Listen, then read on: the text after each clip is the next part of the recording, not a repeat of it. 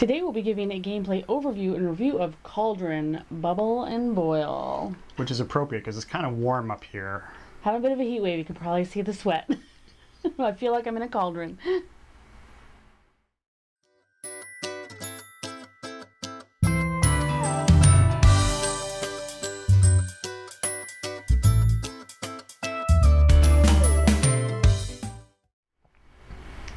I'm Tracy, the Gaming Maven. And I'm Stephane, the games teacher. And well, today we're going to be talking about Cauldron, Bubble and Boil. My pretty. Creating some recipes.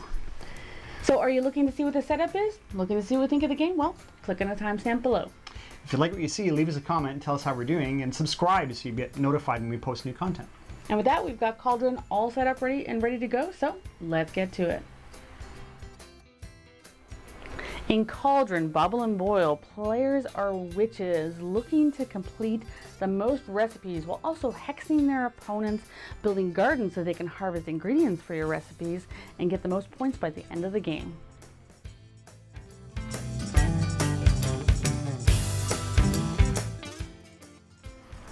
So here we have the components for Cauldron, Bubble, and Boil.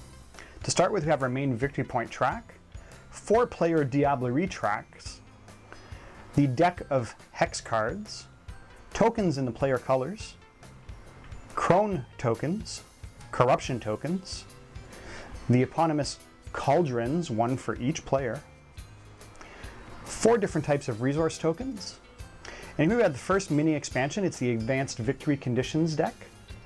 We have the second expansion, the Moon deck, and then the third expansion is the Coven Roles deck.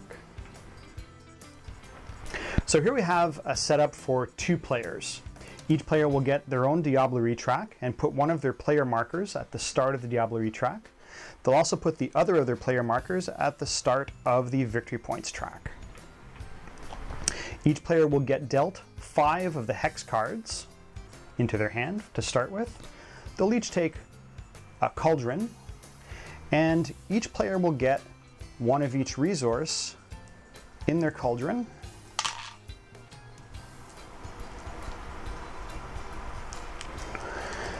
The resources, uh, the amount of resources available in the game are based on player count. With two players, it's 16 of each color.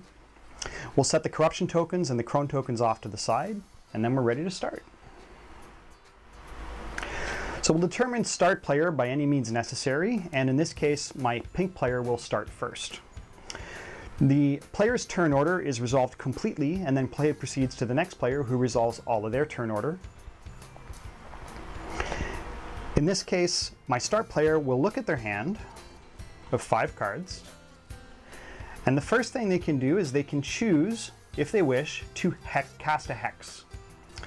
Now a hex, hex cards have a number of different features on them, but I'll show you an example of one. When we're talking about casting a hex in the first phase of the turn order, that refers to this book looking area on the card. On the left is the cost of the hex, and on the right is the effect.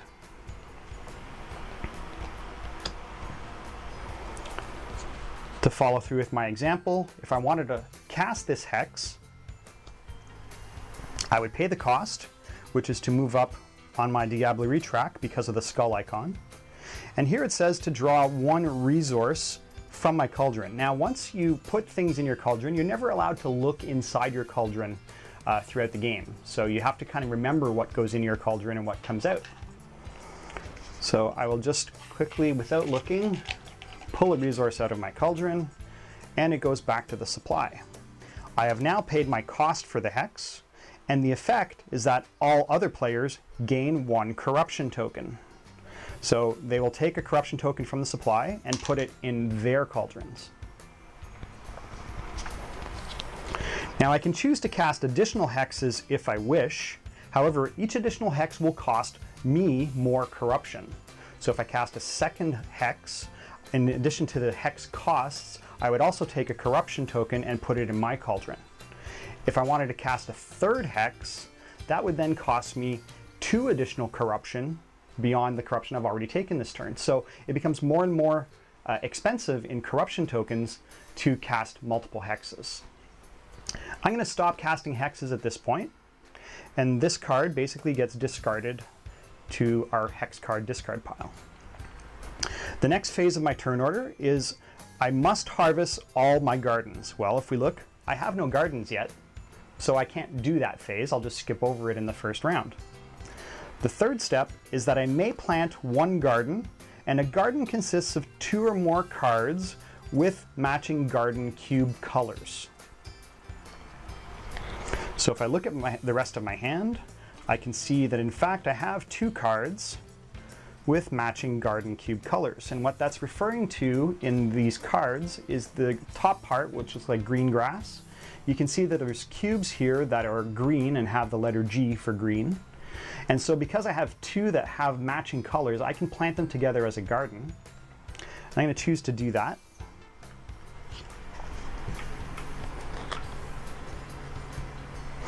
And then I will fill up the cubes from the supply based on the cubes that are showing at the top of the cards. So two on that one and one on that one.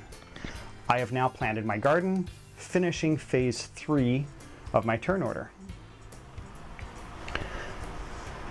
The next thing I can do is I can choose, if I wish, to record a recipe in my spell book. Now what that's referring to is the third part of these cards. At the bottom, you can see the title of a given uh, potion, the amount of victory points it'll earn me at the end of the game, and the cost in different colored cubes. So if I wanted to, I could choose in phase four of my turn order to put one of these cards underneath my cauldron not allowed to look at it for the rest of the game. So I have to remember not only what goes in my cauldron, but also what recipes I've placed or recorded into my spellbook and placed underneath my cauldron. Finally, the last step or last phase of a player's turn order is they can choose to optionally discard as many cards as they wish from their hand. So if there's cards you wanted to get rid of, this would be a good time. Um, and draw back up to five. Now, there is no hand limit so if a player already has five or more cards, they still get to draw one additional card from the hex deck. Um, in this case, I don't want this card anymore, so I'm going to discard it, leaving me with no cards. And I'll draw five from the deck.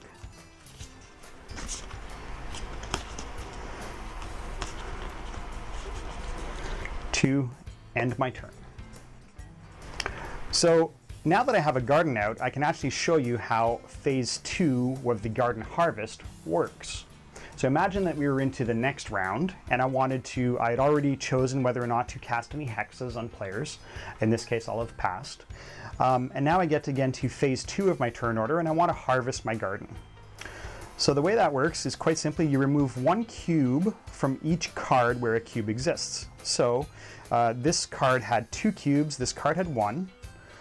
So I don't remove all of the cubes, I remove one from this card and one from this card, and they simply go into my cauldron. I won't be able to complete harvesting this garden until my following turn, when I could then, again, follow the harvest action to remove a cube from each card remaining and put it in my cauldron. Now that I've completed harvesting this garden fully and all of the cubes have been removed, I would then discard the garden cards and for having completely harvested my garden, I would get one Crone token, which at the end of the game is worth three victory points. And I just sim simply set this aside.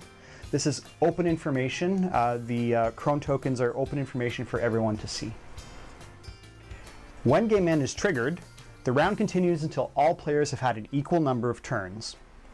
Then at the end of the game, we discard all, discard all gardens in play. In this case, we have none. Um, the game is triggered uh, in one of four ways. When a player puts their seventh hex card in their recipe book, or their spell book. When two resources are fully depleted, so if red and orange had been fully depleted, that would also be an endgame trigger. Um, when the last crone or corruption token is taken from the supply, or when one or more players reach the top of their Diablerie track.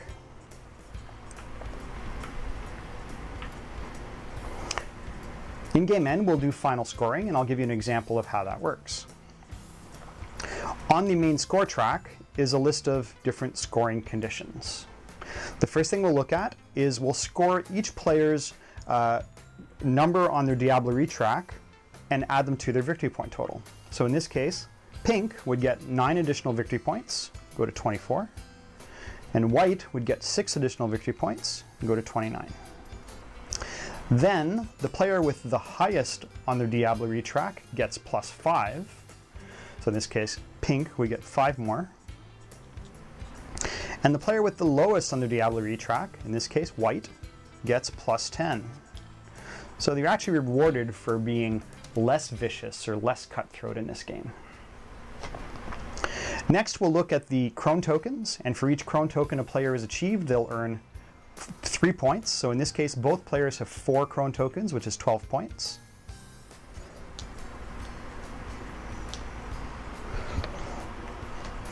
We'll then look at uh, corruption. So least corruption in their cauldron will get plus 10 points, and most corruption in their cauldron will get plus 5 points.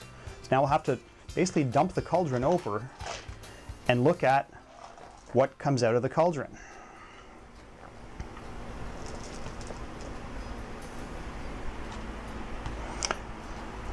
So in this case,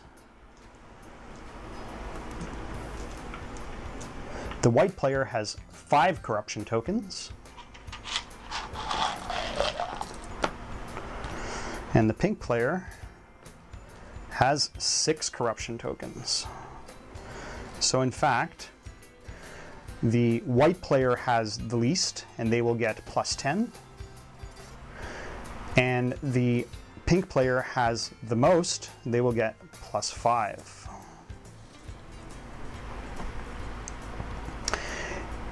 Next, we'll be looking at most, uh, basically majorities in each of the cube colors within the cauldron. So we'll separate them out and going from top to bottom, we do green, yellow, red, then orange. So uh, my pink player has four green. Uh, the other player has also four green. So there they both tie and they each get five points. Next we'll do for yellow. We have four yellow here and three yellow here. So in fact, the pink player gets an additional five points. Then red, four and seven. So in white here gets another five points. And finally orange. White has seven, pink only has two. So again, white gets another five points. Once all of this scoring is resolved, now it's time to look at the uh, potion recipes that are scribed in each player's spellbook. So we'll move the cauldrons off to the side, give ourselves some breathing room. We're going to put all the crone tokens away because we're done scoring those. Again, just to give ourselves some table space here.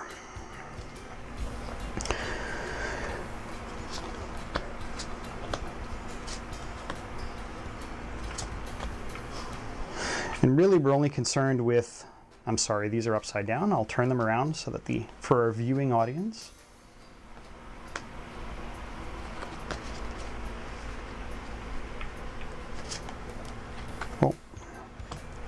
And finally, there.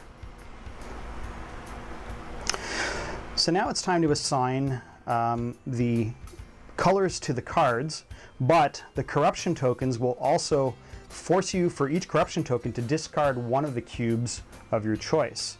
So you got to decide where you want to place your cubes to get, get you the most points, but then you might have to sacrifice some depending on the amount of corruption you have.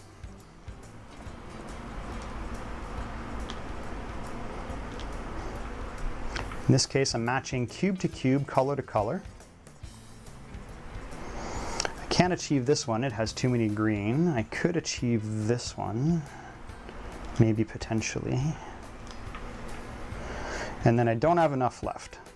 So my leftovers, I can start by matching one corruption token to each of the ones that I'm not going to spend to resolve my, um, my spell recipes or my potion recipes. And these will just go back to the supply. Now I have still have three corruption tokens, which means I'm going to have to basically get rid of one of these cards. Now, conveniently, I have one card that has three resources on it. It's only worth seven points. So that's the one I'm going to choose to get rid of. And these are going to go back to the supply. And then these corruption tokens are resolved. Leaving, with, leaving me with only these two cards that I can score. Each one is a value of 9. So my pink player will get 18 points. 74, 56 to 74. Next, we're going to look at the uh, recipes that are in the other players, under the other player's cauldron in their spell book. And again, we're going to follow the same thing. So we're going to try and match up color to color.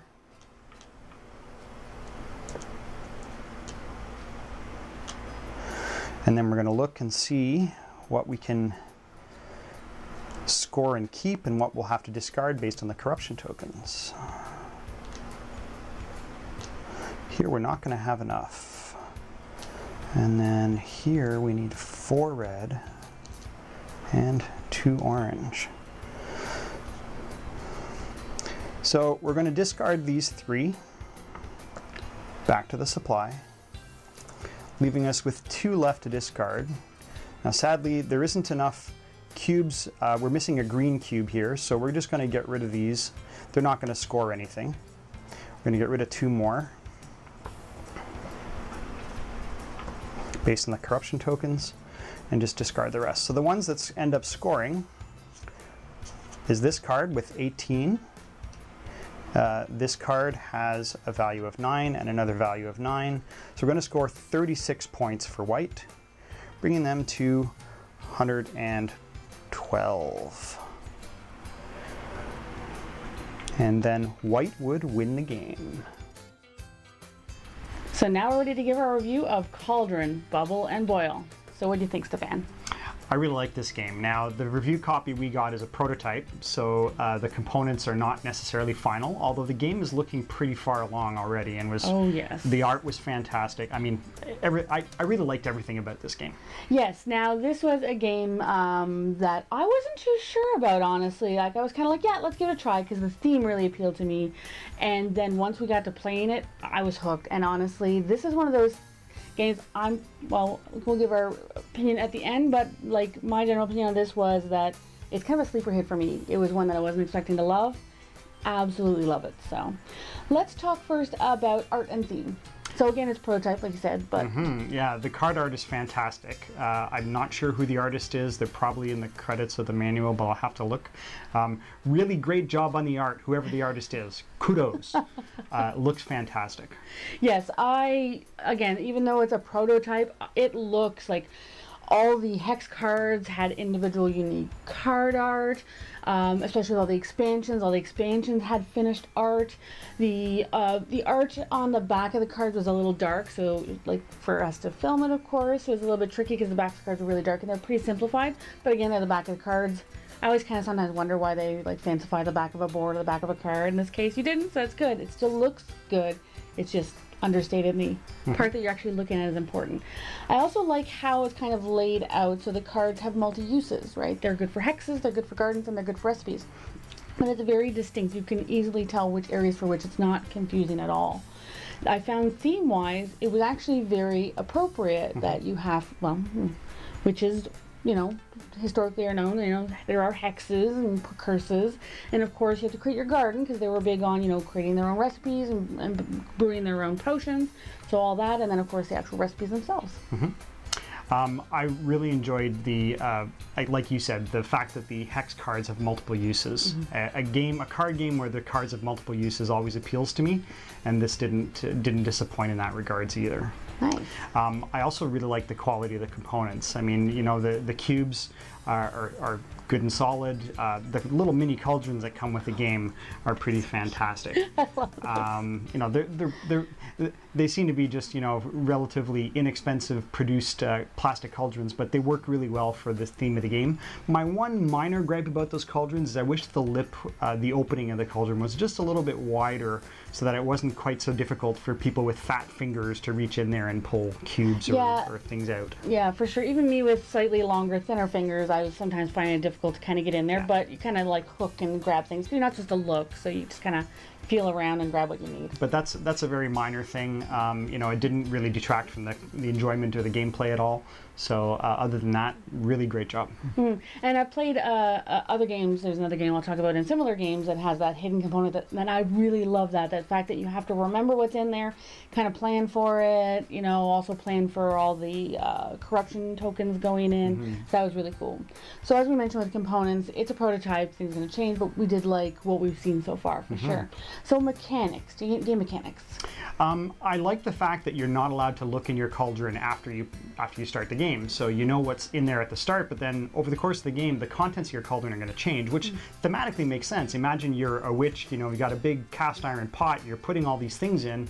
It's hard to pick out what's what in the big cast iron pot once it starts all boiling together.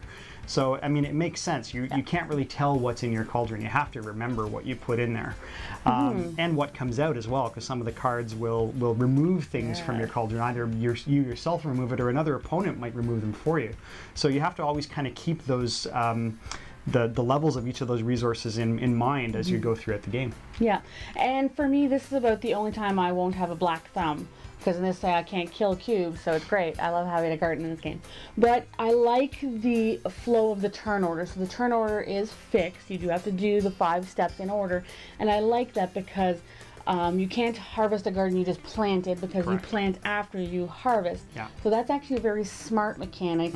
It I think it balances a game where if someone had like a lot of uh, cards they could put down on a single garden, because you can plant two gardens. So if you put like four cards down, and then it has tons, and then all of a sudden you can harvest them. That makes it really easy for you to remember and really plan that. So I like that, and I love that you can't look at the recipes either. That's really cool. So you're like.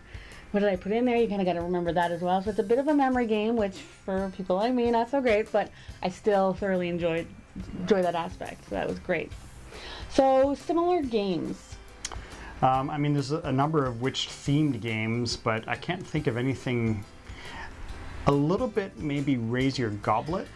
You read my mind. That's exactly what I was thinking. Uh, of the raise your hidden, goblets. hidden. Yeah, so you know the goblets have hidden things in them, and you don't know if yours is poisoned or not. Or um, so um, that would be one that you know kind of has that hidden Mm-hmm. aspect. Uh, there's probably others like that. That's the one that came to mind. That Um, was the one I was thinking of. So There's a number of other witch-themed games or, or cauldron brewing, boil, you know, bubble, not cauldron bubble and boil, but there's a number of other games featuring, you know, uh, witches and, and brewing potions. So, uh, but nothing that uses quite these mechanics that I've seen. no, there are other games that have cards that have like multiple uses. They have Mm-hmm. different things on them, like Mottainai, inno- innovation, but the game mechanics of those are completely different. I find this one brings mechanics from a couple different games that I'm familiar with, pulls them together very smoothly, a nice, easy game. And the best thing about this is I found uh, it was very easy to learn the rules, even though it looked like there's a lot going on. Your your player aid, I'm big on player aid, so the fact that the player aid is right on your board, it's Yeah. great. That is a huge bonus for me as soon as I see a player aid. But uh, you, you have them right there, so you can easily remember them. There's the little little subtle things that you, you might have to refer to the rules, but I don't think we had to refer to the rules very much. Now, another thing that the copy we got came with, and I'm assuming because this is going to be actually a Kickstarter, so there's going to be like stretch goals for expansions and stuff like that. Yeah, so there's three mini expansions with the game. One seems to be included with the base game, Mm-hmm. and it's just optional whether you play with it or not. And that is the uh, sorry, no, not No, no, sorry, not the, the, moon um, deck. The uh, Advan- advanced. the, the advanced victory conditions deck. It's called something else in the rules, but the cards actually say advanced victory conditions. Uh, so uh, they just uh, you pull out two of those, and then they'll modify the end game scoring depending on you know the text in the cards. So That's, they, that's actually one very like the, the thing about the expansions is each expansion has like three variants. Yeah. So that's just one of the Sure. variants of that particular expansion. Right. So there's two other ways that you could also use that expansion. So the other, uh, the next expansion, the second expansion, is the Moon Deck, and the Moon Deck is just a series of eight cards. Um, you can play them a number of different ways, but the the base way to play them is you reveal one at the start of every round, Yeah. and it's in effect for the duration of that round. So all players get a chance to uh, react based on that card. Um, it's a bit of a crapshoot. Sometimes you know it's calling for a specific color. You may not have any of that color, so it doesn't really affect you. But if you if they happen to hit on on one that you know is good for you in that turn, it can really be a, a big boost to your resources. Now this one in particular, I like that there are variants because Uh, they're numbered one through 8 Mm-hmm. and in the variant we used, we just had one, two, three, four, five, six, seven, eight um, order. In, in order, so they were the phases of the moon. You can shuffle them up. That's one of one of the variants, I believe, and it makes it a little bit more random, so you don't rem- know. I know this is going to be coming up next turn, so you can kind of plan for it. So I like that. And the other thing you can do also is uh, draw a new one at the start of every player's turn instead of every round. So Mm-hmm. then it becomes really chaotic. They actually call that the lunacy variant because it becomes a little a little bit crazy. um, and so I d- haven't played with that variant yet, but I, I might try that at some point in the future. Um, the third expansion Yep.